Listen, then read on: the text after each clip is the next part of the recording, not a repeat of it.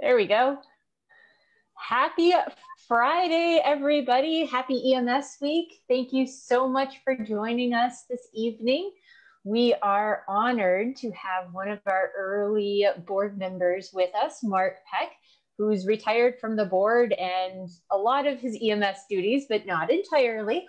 Um, and we're very excited to uh, get all the lowdown on New York City EMS history and uh, hear what you've been up to since you've transitioned to your new roles. So I'm going to turn it over to Doc and. Good evening, everybody. Uh, I am delighted to have as my guest and friend Mark Peck, uh, originally from the city of New York, actually originally from a volunteer ambulance corps in Brooklyn. And I'm going to let him talk a little bit about that in a minute. But Mark is a fascinating guy from the standpoint that he is a walking history of EMS in the city of New York. And that's really what I'm going to want to spend most of the time on tonight. So, Mark, great to have you with us. Uh, we'll be doing this for about 30 minutes, and then you can go get a drink or whatever it is you're going to do tonight. So, tell me about your early days in EMS. Where did you start? I got started back when I was in college. I went to the State University of New York uh, at Stony Brook. And my second year there, my roommate went and said, Listen, I belong to the campus ambulance corps. We were one of six collegiate based ambulances uh, at the time. And he says, Come on down. It's a good way to meet girls. And at that, I came down, and that was the beginning of everything. Stony Brook found me not only my career, uh, which wasn't what was intended initially, uh, and my wife. So, strange story. You know, I, I had been one of those kids that grew up on TV uh, you know, watching Rescue 8. Uh, grandfather used to bring me to the old firehouses in Brooklyn near his house, and that was kind of a ritual back in the 50s. Yeah. So I've always kind of had a, an, an interest in that. But suddenly here I am, and, you know, decided to stick with it. I went through my first EMT course there. Back then, it was a 45 hour course yep. uh, with the prerequisite that you had to have Red Cross Advanced First Aid, where you got to practice all your bandaging right. skills. So book. Yeah. Yeah. So with that, I started there and decided to take a leave of absence from school at one point, uh, and started working for a private just for the summer. And from there, I said, well, let me see. I may stick with this for a while. So signed up with the city of New York as a motor vehicle operator. I was already an EMT, but they did not recognize outside training at that point. So there I was, the smart motor vehicle operator or the ambulance driver. And uh, that's where it all began. And that was when EMS in the city was being run by whom at that time? Uh, it was 1974. So we had been about four years into the switch over to the Health and Hospitals Corporation. Gotcha. Uh, EMS was its own division then, but it still was uh, was answerable to the group that ran the municipal hospital system. So you went to the University Hospital in Staten Island to become a paramedic? No, no. Uh, went to Jacobi Hospital. Jacobi, okay. Yep. And when I was still BLS, I was working up in the Bronx for a while, and they had the very first medic program, the pilot program that started in 74. It was just two units out of Jacobi, and they wanted to see if the concept worked, whether they wanted to go with it. Yep. So, you know, I knew most of the medics who, you know, who were working back then. One of them said, look, they're going to start the program up sooner or later. Really, you know, you should stick around, get into it. And in 75, they finally announced they had gotten grant money to start running it. HHC said, you know, we, we want to go with it. And I got into the second paramedic class that the city of New York ran. Yeah.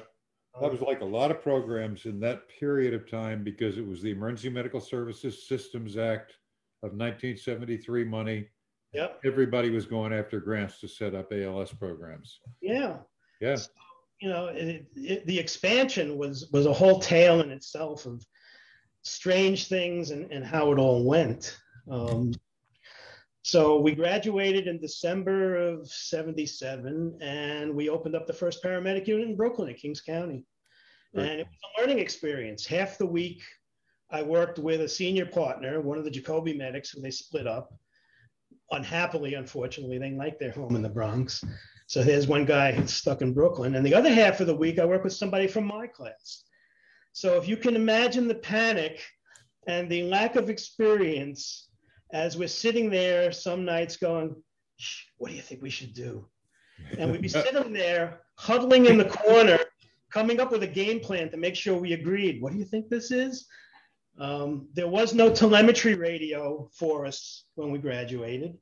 Yep. Uh, the Jacobi system had it. They hadn't put the radio system completely together yet.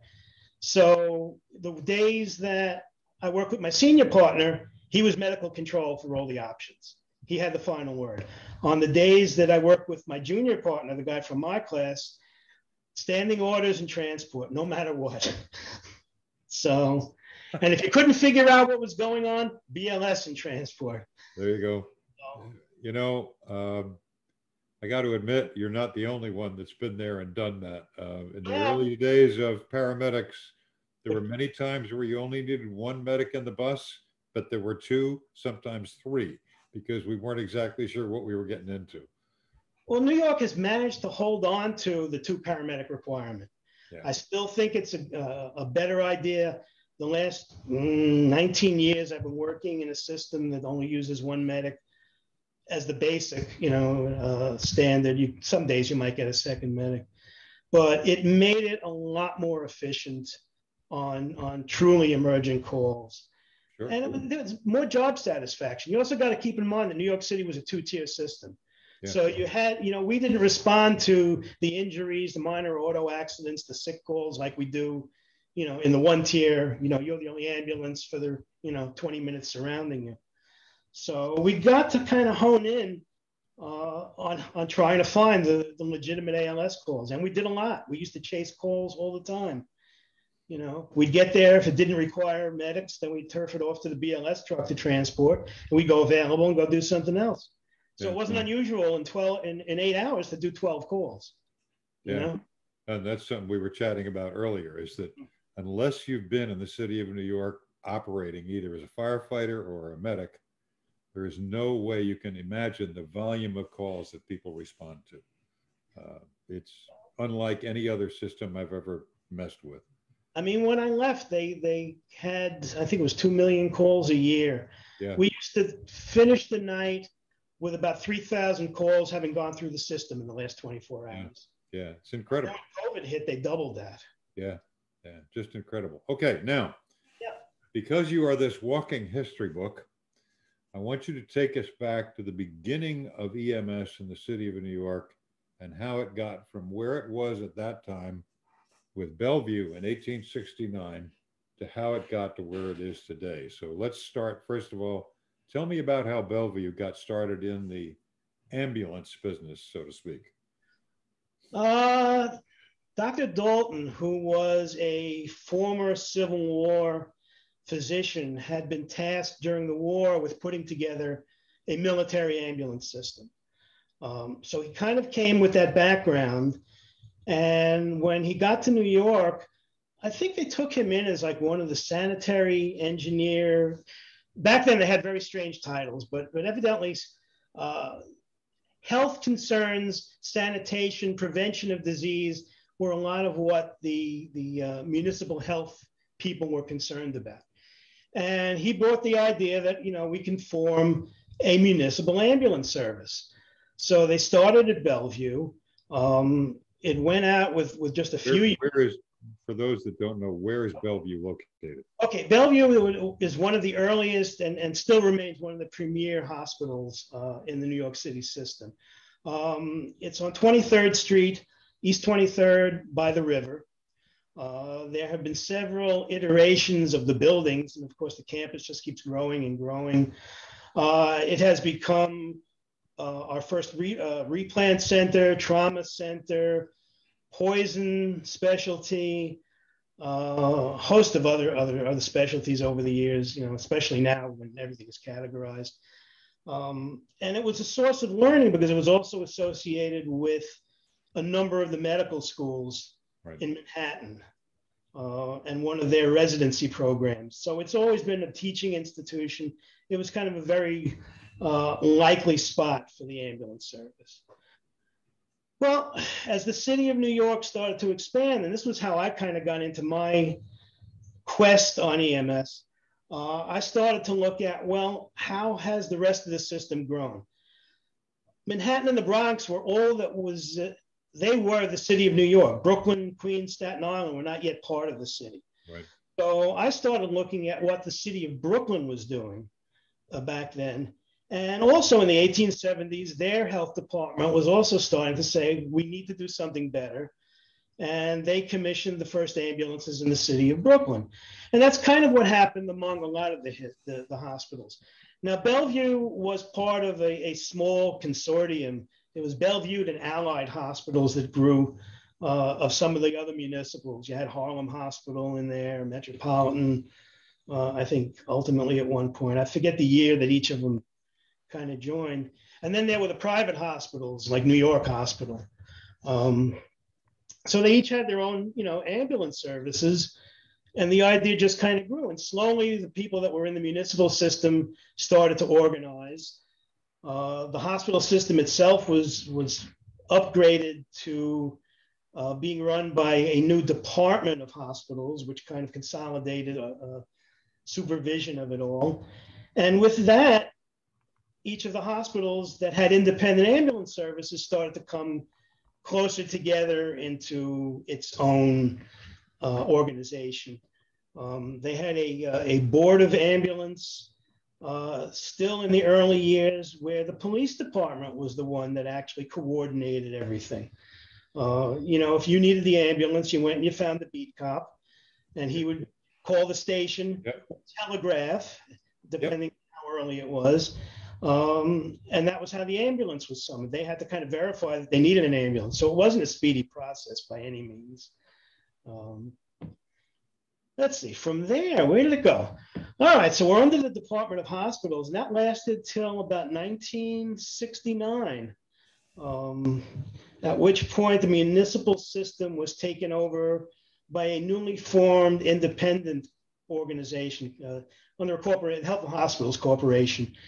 And they wanted to pull it away from some of the direct city uh, politics and to get some other funding. And EMS became its own division under that, basically on equal with a hospital like Harlem Hospital, Coney Island Hospital. You had the EMS division. So they're the ones that inherited everything from the Department of Hospitals. And here we are today. And then in 96, FDNY took it over, right? Yes. Yes, kicking and screaming, I might add. Oh. they were not the favored group to take us over. Um, I will tell you outright, uh, it almost came to an outright revolt. The fire department at that point, the, the, the basic engine company, ladder companies, they didn't do first response uh, like right. they do in other areas. They really didn't have a lot of interest in EMS work. There wasn't that kind of coordination or on scene cooperation um, that you see today and that you've seen in a long time in other systems. So these guys did not want to have anything to do with first responder duties. And even that pilot program in 96, I think it was, uh, had a lot of controversy to it and was a really big issue of growing pains. And it still isn't the perfect system, but it's absolutely, absolutely improved. Yeah. But it's interesting you mentioned that they didn't respond to that kind of stuff. But back in the days we were talking about earlier, which were just call boxes, mm-hmm. they didn't know what they were responding to until they got there. No. Um, so why don't you talk about that just a minute? How did New York City, back in the days of the pull the box thing, how did a response take place for most neighborhoods? All right. If if you if you pulled the fire alarm box, I mean, let's let's say 1960. All right all it was was a pull alarm, you know, the no digital, no voice, nothing. Um, if you did that, all they did was send the engine company whatever was on, you know, listed right. response to a box at that particular location. Yeah. Depending on the architecture, you know, it might be one engine or it might be, you know, the ladder going with it. It might be a number of companies. Um, and if they had no other information, they waited until the first company got on scene, gave a report, and either escalated it or called for a specialty response. Yeah, the dispatch system back in those days in the city of New York was like a telegraph that went into each engine house or, or truck company. Mhm. And it would be ding, ding, ding, ding, ding, and a paper tape would come out, and you would know whether or not that was an alarm for you. And then a predetermined number of pieces of fire equipment would respond Mhm. because it was that particular box, it was that response for that box. It wasn't until they upgraded to the voice alarm system that you had any communications Yep, uh, with Yeah. an idea. interesting. But most of the Yeah. calls for, for, for service came in by telephone. Yeah. People would call uh, either the operator in the early days and they would put you through.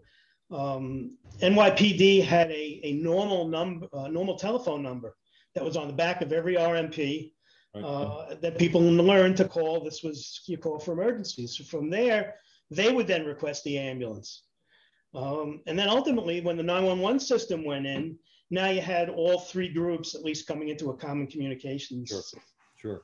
Okay, now take me back to Bellevue. How did, what was their original ambulance service like?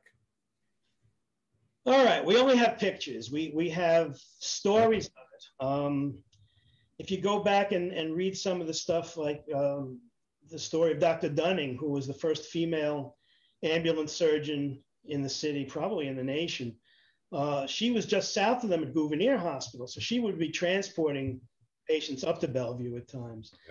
Um, it was horse drawn, you know? Horse drawn, and but wait, you mentioned something pivotal. Yeah. You mentioned ambulance surgeon. Oh, There were yeah. EMTs or paramedics at that time. no, no. Well, well, basically, when when you came out of medical school, you were required to do uh, a rotation on the ambulance. You were the ambulance surgeon, and they Right. gave you a little hat and maybe 15 minutes of of orientation. And the brand new doc had the bag, you Yeah. know, with some drugs, and they were sent out there to make a decision of, you know, you either treated it in the field and it was done with, or you brought it back to the hospital.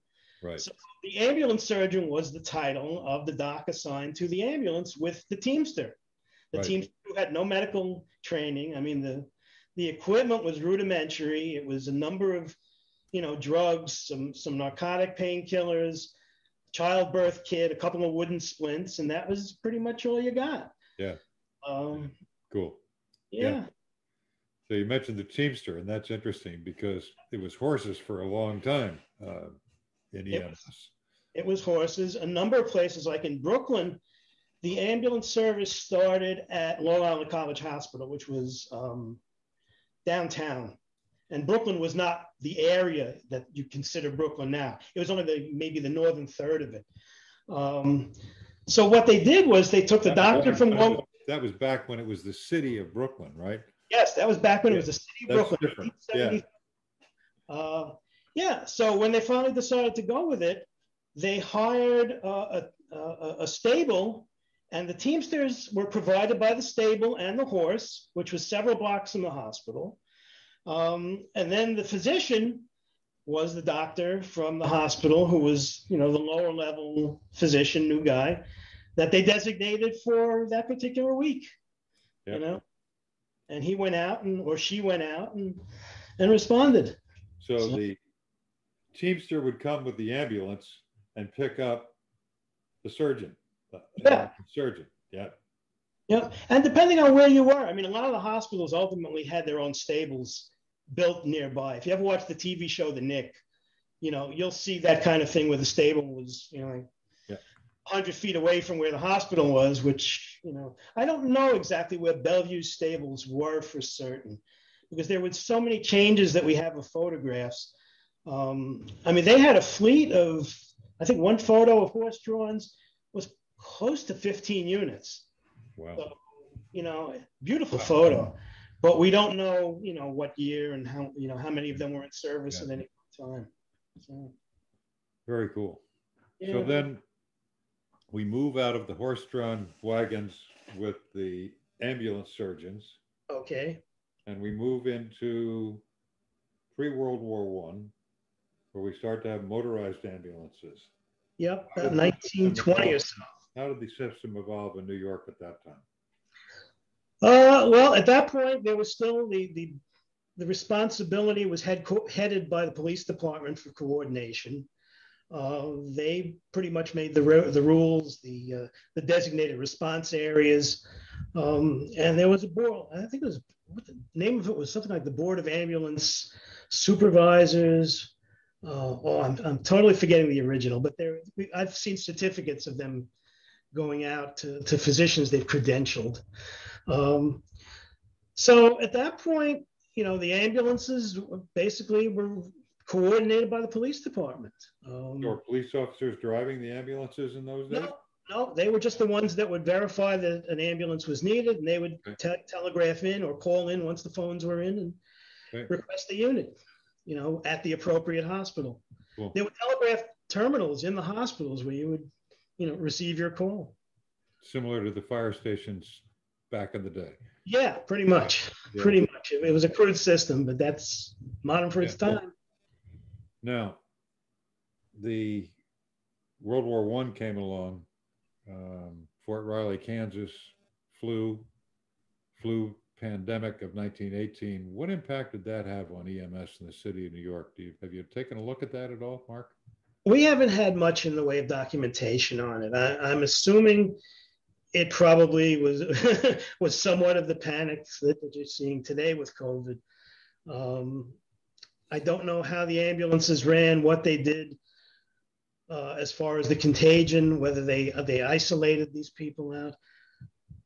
I there's just so little written on. I, I can't really tell you. So, okay, so closer to modern day, you spent 22 years as a paramedic in the city of New York. Okay. Tell me about that experience. Actually, it was 32 years. So 32. Okay, sorry. Yeah. Yeah, I mean, it was, it was tremendous growth. I mean, we started out with, you know, one, with my class, we had, uh, I think, four or five additional hospitals that got a paramedic unit. And you had that one unit that covered a huge area. Yeah. Uh, and then each six months, eight months, a new class would graduate and they would start the expansion start bringing in new, new, you know, new stations, uh, new ALS units. They had more people to train, obviously, and the training was was just full steam ahead at that point. You know, they were putting out two classes a year in the beginning. It rose to three or four. Training sites changed. I think after class 11, Jacobi no longer was doing it, but we also had a group at Bellevue Hospital that was doing training. So the two of them were running simultaneously during that last year. Um, you started to see the voluntary hospitals in the system. For those that don't know, it's not volunteer. The way that they've looked at it is the private hospitals, nonprofit hospitals, are called the voluntary system. Um, and they also ran ambulances. Presbyterian Hospital and, and, up in Manhattan was, was one that was there from the very beginning, New York Hospital. So they uh, they also started doing training for for paramedics, and you started to get more people graduating, more units coming in, and uh, it went from there. And you know, it wasn't until the fire department kind of changed the whole dynamic. Uh, some good, some bad. They they did not like to rely on the learning curve that we had already gone through on some areas, like locating units, methods of dispatch, but you know, we, we've reached a point where we are now where a lot of those problems no longer exist. Um, you know, it's it's interesting. Uh, when I talk to young EMS people, I said, if you ever want to go to a couple of places, I said, if you want to see what a real emergency department looks like when it's flat out all the time, go mm-hmm. take a look at Bellevue Hospital in New York. Yeah. And I said, if you want to find out how to take care of kids, go to some place like Children's Hospital of Philadelphia and just spend some time there. Mm-hmm. Uh, and they, they ask, well, how could I do that? Well, it's amazing how receptive most of these hospitals are to let young medics in training poke around and see what goes on. Um, that's how I ended up at CHOP in Philadelphia because I was doing an ACLS instructor class with the senior fellow in pediatric emergency medicine, D. Hodge. And I said, you know, kids scare the crap out of me. I work in a re- rural system. I rarely see kids. I need to get exposure. He said, come on down. So I spent a number of weekends there and saw two to 300 kids a weekend. Then it was just, they're just another patient, you know? Well, tell it was. Tell me about the Bellevue ER. I know you've been in there. Oh yeah, well during the early years because I started in Lower Manhattan with the city. Okay, cool. Yeah, I mean it, it it's grown and grown and grown. I don't think there's anything that you can find that they haven't handled. Um, they are one of the sites for a number of uh, medevacs in the city. Originally, it was the only site. You know, if you were going to fly somebody, you you would do it because you don't really have landing facilities at most of the hospitals. There's only a couple of them now that still have their own. Um, yeah, I mean, it, it, it, was just a walking inventory of every medical condition. And that's why, you know, especially in the early years, why it was a, a great training site for physicians. Um, you know, the, uh, the hospital itself has, has, has gotten so much bigger. Um, but you will find the experts in everything one of the nice things was, you know, during my early years and during the early training, we were all trained by physicians, and we had, yeah. if we needed a specialty rotation, we would find someone who would do it. I yeah. mean, we had a nurse in my class who was the uh, the nursing director of Metropolitan. So when we went to do our rotations there, she made sure everybody was on board with giving us every patient, every skill, every, you know, and that's the way it kind of got as it went along um, we've moved further away from that physician contact. And that I think is, is one of the things that's lacking in, in medic training these days. That is sad too, because when we all started as when we were all young paramedics getting training, all of our classes were taught by docs. Yeah. And we learned anatomy, we learned physiology, we learned exactly what was going on. And that's sad that that has disappeared in so many places. I mean, we used to have to go to a call review every week where the physician would sit down and we would review the calls of the week, especially in the early years. It was a great learning opportunity. Yep. You know, and it was nice because it almost was like grand rounds, right? It was yeah. because it was, it, it, was it was based on education. Yep. These days, there's more of a component of discipline every anytime you get around to some of those discussions. Yeah. But you had a one-to-one contact with your physician. Yep even at, at, Coney Island, I mean, our medical director was the one who coordinated everything for us from supplies to problems with the staff to training, got us into being CPR instructors for them. So we were teaching the house staff CPR and ACLS. Um, a lot, a lot tighter group than you're going to find today. Yeah, yeah. Now, um, in the city of New York now, the training of paramedics? Is it taking place on Staten Island or is it still in the hospitals? Uh, it's in a number of locations. You've got some private groups that do training uh, in affiliation with a hospital. Uh, there's one group at Methodist. There used to be St. Vincent's when it was still open. Uh, they went on to train a lot of the, the paramedics that are in the system now. And most of the people that they trained tended to work for the voluntary system because you know, you know, New York City EMS had its own programs when it went to the fire department, the fire department, we have our own academy where we do all the training. So yeah. we don't need that. But now you've got people, you know, coming in from the outside who kind of have to get reviewed if they want to come work for, yeah. FDNY. So it's uh, there's a lot more of that, a lot more choices of where to go. Some of it is good, some of it is bad. but there there are a couple of first-rate places still that have put out a lot of good medics. Um, now let's see. How long ago did you relocate to where you are now? 2005. Uh, my wife wanted to get out of New York after September 11th. Uh, I had already reached the maximum on my pension, so I could go any day I wanted. Um, and we just kind of did a road trip of where do we want to go and ended up in Charlotte. That was uh, her choice. My daughter liked it. They tried it for a while. And when they said, all right, we're going to stay, at that point, I took full retirement and I came down here and I started working for Mecklenburg EMS. Cool. And so, what's different with Mecklenburg EMS as opposed to FDNY? Everything. Everything you can think of. Um, it's an interesting system. It's a public utility model. It is run by a consortium of the county and the two major hospital systems. So they do the oversight um, of every facet uh, of, of rulemaking, of the contract, the whole deal. Um, what was different about it? We went to 12 hour tours. We went to system status where we were no longer assigned to a station. You would respond right. to headquarters, sign out your truck, go on the air, and they would put you at whatever post around the city or I'm sorry, around the county um, had a vacancy. And it ran basically on call goes out, that truck does the call, there's a vacancy. Whoever went available now backfills somewhere in that system. Um, it was a, uh, a, a, single medic system, so I was now working with an EMT most of the time. And we also had a really good first responder program. Uh, that's probably one of the highlights of, of what I think about the system. Charlotte Fire Department was very into their first responder duties.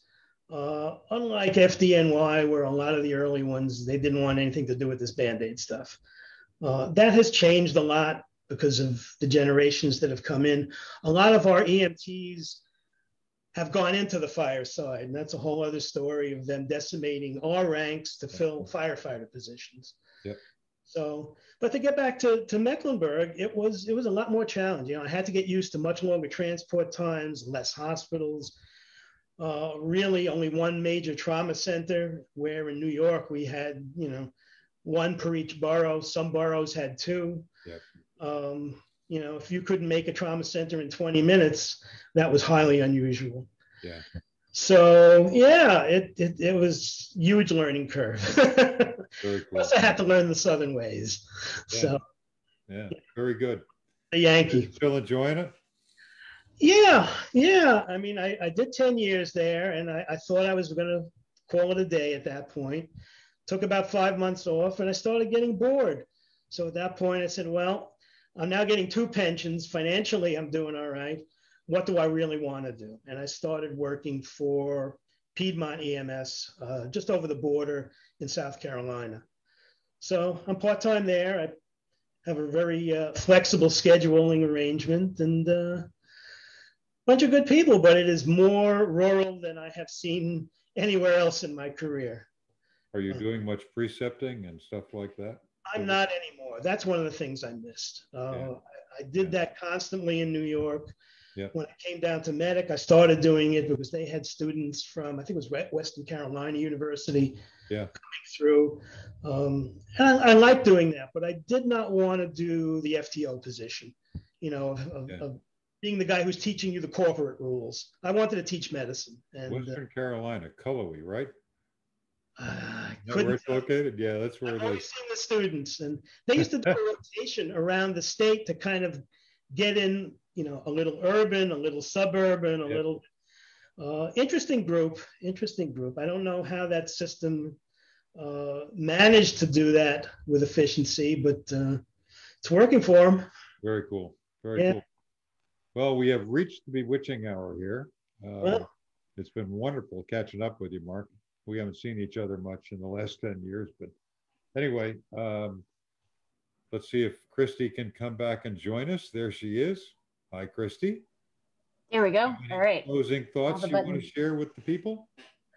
Uh, well, we've had a couple of questions come through on Facebook. So, um, one, can you pick a highlight from your career? You've run what seems to be the length and breadth of EMS experiences, is there a memorable highlight that you'd like to share? All right. Well, there were two. One of the assignments that I took in New York, which I love to do and people are, are still doing today, I was a member of the Dignitary Protection Unit, which, because of the number of high ranking foreign dignitaries as well as the number of frequent visits from the president and vice president. I used to do those details from eh, almost when I graduated. Uh, so that's been fascinating. You know, doing the motorcades uh, is that. The other one that's still kind of, I, I, was thinking about it before. I've probably had over 200 ROSCs in my career. Um, we used to document it. I've got paperwork and commendations from all of it. But in the early days, you didn't have. Mark, Mark you used an acronym. Spell out what you just meant. Okay, ROSC, return of spontaneous circulation. Thank you. We used to call them SAVES. All right, you you successfully resuscitated a cardiac arrest patient. I mean, we used to do a lot of cardiac arrests. If you didn't do at least one a week, you were doing something wrong. And I worked in a high medical area, so we got much more than that. So, despite that, you know, the number of, of walk out of the hospital survivors was still low, maybe 10%. We had one on a particularly bad night under the worst circumstances who is a survivor since 1999, who I'm still in contact with. And it kind of really starts to put things in perspective when you meet them, when you meet their family. Yep. One of the nice things that, that uh, FDNY did um, during EMS week is we used to have the second chance breakfast where they would gather together the rescuers, including the firefighters, sometimes the medical control physician, and the patient and his family, and they would come down, we'd have breakfast together. So, a year after this particular incident, which to, to give you the short version of it, we were on mandatory overtime.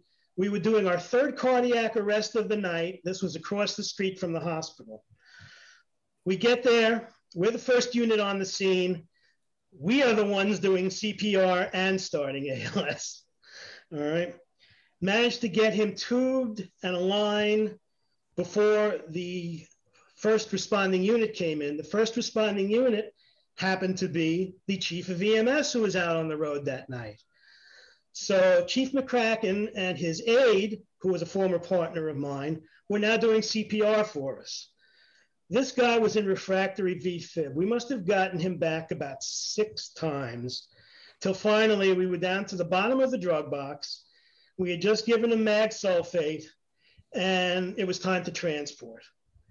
We had to move him standing up on a scoop stretcher in the elevator to get him down. We were up on the sixth floor.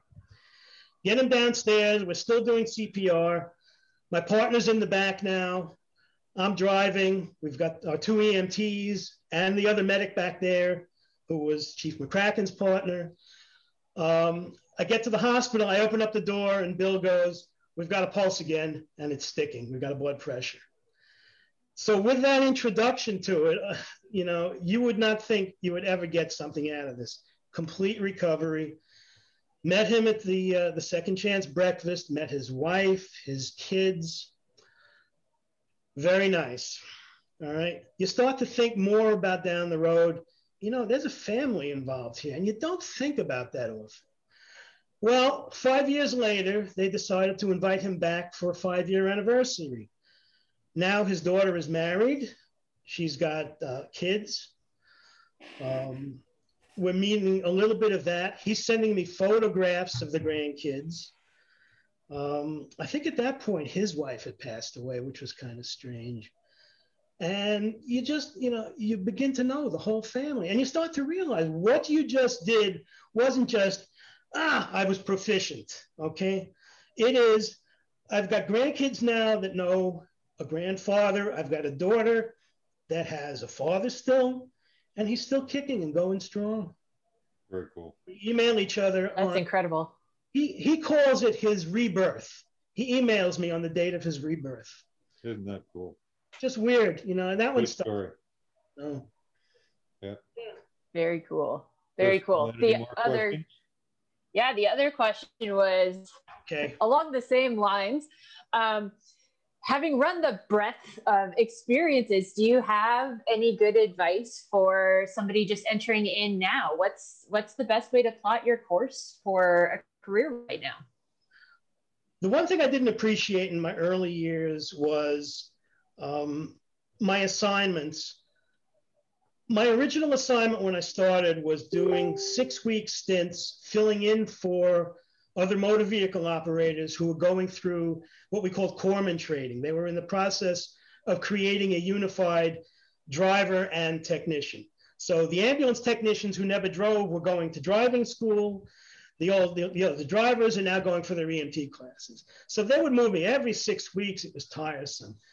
So I got moved all around the city to every station. I spent time in the Bronx, which was like on the other side of the world for me. I'd never been there. and, you know, you get a little bit annoyed at like, why couldn't you just put me in Brooklyn?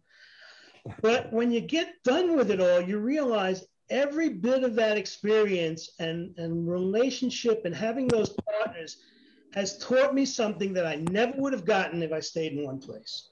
Yeah. All right. I have picked up things from old time ambulance techs that taught me my trade to, you know, I've, I've had physicians in the ER teaching us stuff.